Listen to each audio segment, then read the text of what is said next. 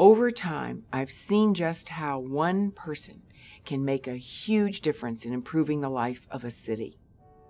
Joanne Horning is one of those people.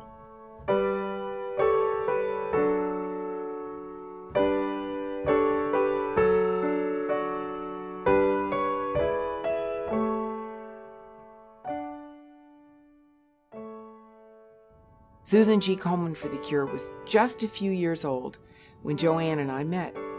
Her mother had been diagnosed with breast cancer and she needed some answers. She also had an idea to start a chapter of Susan G. Komen for the Cure in the Bay Area. At that point in our history, we didn't have local chapters.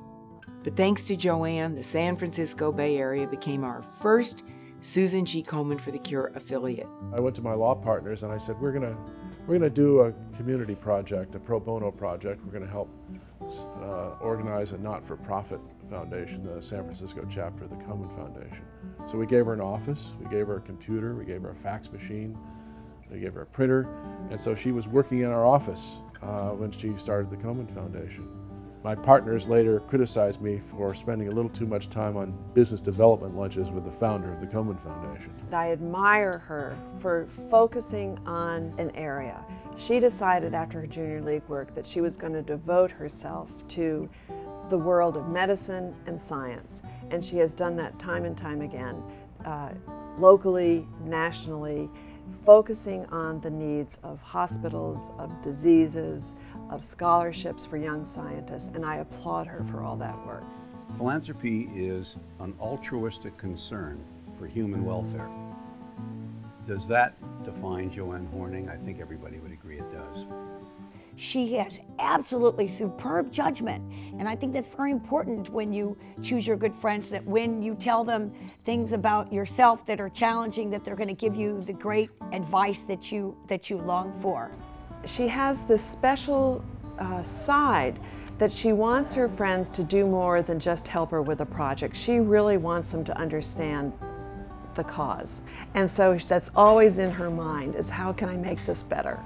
Joanne is just a very wise, thoughtful, and so warm and welcoming. I mean, she's just has a fantastic sense of humor, just a wonderful laugh, and Joanne is absolutely as beautiful on the inside as she is on the outside. And that, I think, is um, not something you can say about a lot of people. She has got to be the most loyal friend on the planet. And I will forever have her telephone number on speed dial when I have a crisis in my life. It's not even a question who to call. She's very family oriented and uh, loves her daughters. So she's been a, a, very important person in my life. She's definitely been an inspiration. Family was definitely very important and is very important to Joanne. Um, we would, she would have dinner ready for us at 7:30 every night when my dad came home. Family dinner, so we could all sit down and you know, talk about how our day was. So she definitely found a balance. Hi, Mom. It's your daughter from my small New York apartment wanting to congratulate you on being honored this evening. I just want to reiterate how much you have made an impact on others' lives in the community, but most importantly, the effect you've had on my life. You're someone I've always looked up to for your genuine, caring, positive attitude and generosity.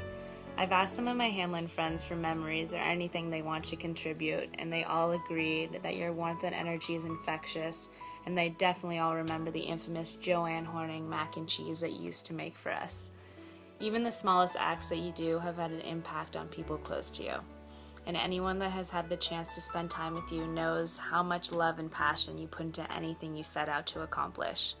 We all admire your ambition and hard work. I love you so much and wish I could be there in person to celebrate with you tonight. Hope tonight is great. You deserve it. Love you.